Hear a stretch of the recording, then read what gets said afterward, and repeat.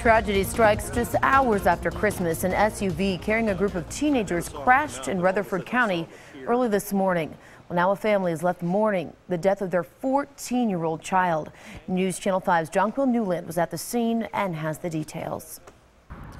These orange marks outline where an SUV full of teenagers lost control coming around this curve and wound up hitting a nearby telephone pole.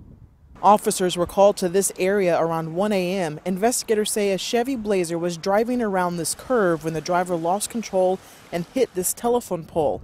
Inside the SUV were five teenagers, two 16 year olds, two 15 year olds, and a 14 year old. The 14 year old was killed in the crash. He's been identified as Richard Alsara from Antioch.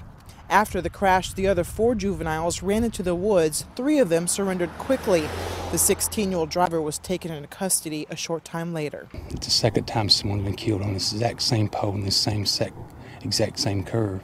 Right now, it's not clear if the driver of the SUV will be charged. That decision will be left up to the district attorney.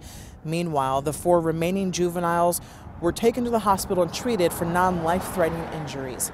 In Rutherford County, I'm Jonquil Newland, News Channel 5 HD.